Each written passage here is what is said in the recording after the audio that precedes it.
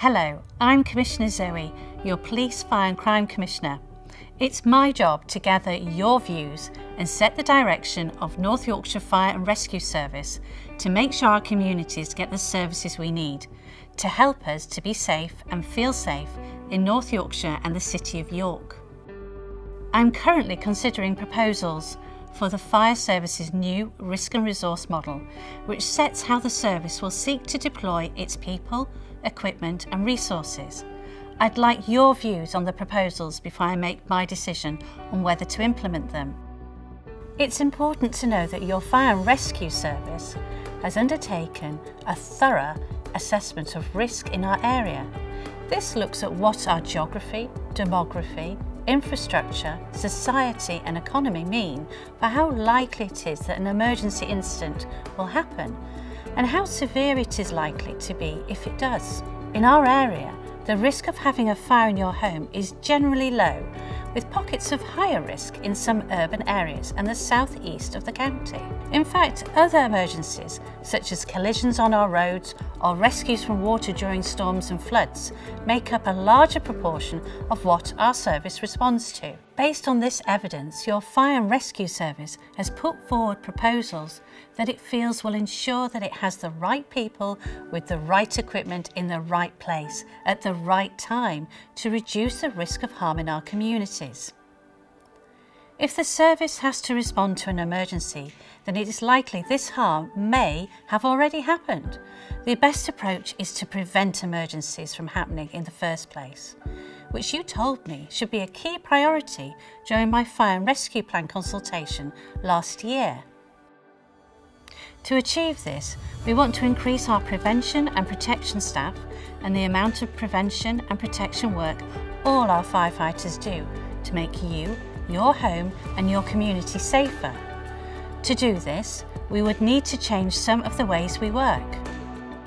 Nearly half of our incidents are false alarms, mostly from automatic fire alarms, so we propose to reduce our response to low-risk automatic fire alarms during the day at premises where people do not sleep to give our crews more time to deliver prevention work. We also propose to change the times of our firefighters' shifts to match demand and maximise the time they have available during the day for prevention and protection work and introduce self-rostering duty systems across all our full-time fire stations to help create a more modern and flexible work environment. To increase prevention, we would also need to realign some of our resources to match our risks. In the York area, the risk assessment has shown that we currently have more emergency response resource than is needed for the risk and demand. So, we propose to change Huntington Fire Station from a full-time to an on-call fire station. We would keep the on-call fire engine and remove the full-time engine, redeploying the full-time firefighters to other stations or roles, including prevention roles.